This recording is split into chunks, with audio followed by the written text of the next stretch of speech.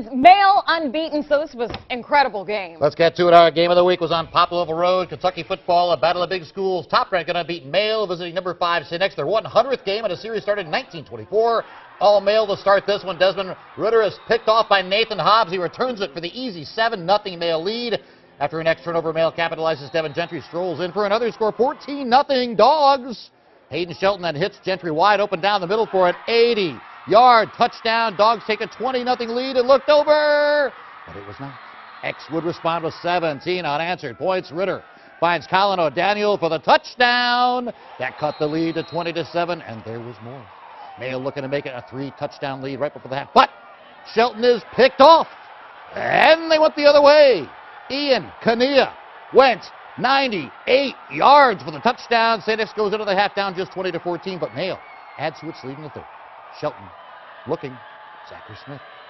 He makes a man miss and scores. Dogs up by 10. Male and Chris Wolfe uh, make five turnovers, but win it anyway. 27-24. Male's fourth straight win over X. Dogs lead the series 56-42 and 2. Male's 19th straight regular season game, the second longest streak of its kind in the program's history. I was just telling, I said, this is great. I said, it's great.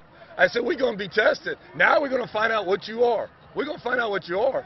Uh, all the blowout stuff, and you see our guys cramping up. We haven't played a full game except for the training game. That's what it's all about. Um, I, I, we couldn't ask for anything better than this.